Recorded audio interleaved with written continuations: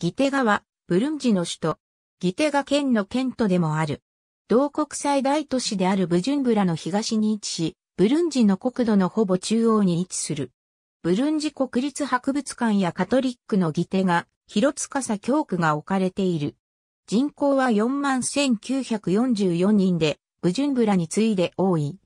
ブジュンブラが同国の経済の首都であることに対して、ギテガは政治の首都とされている。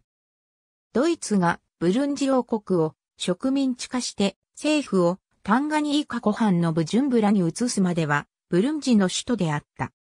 1966年のクーデターで追放されたブルンジ国王ヌタレ5世が1972年にブルンジに帰国した際、ミシェル・ミコンベロ大統領によって軟禁された自宅もギテガにあった。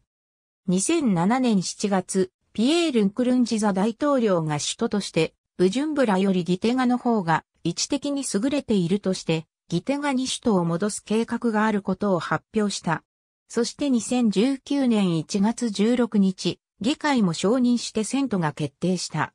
ブルンディ、シティパプヤレーションで2019年3月30日閲覧。プロマルゲーションルヨンフェーブルリ2019でラローイ、ギテガ、キャピタルジュブルンディ。Burundi Agnews 2019年3月30日、閲覧。片山正人、現代アフリカクーデター全史叢文社2005年、P277ISBN4 から79470523943022 Gitega soon to become the capital of Burundi ALLAFRICA.com http://allafrica.com スラッシュ stories スラッシュ 200703270775.html2010 年2月15日閲覧ブルンディ2チェンジ・イッツ・キャピタル・シティブ・ビシュ・ワールド・ニュース2019年3月29日、観覧。ありがとうございます。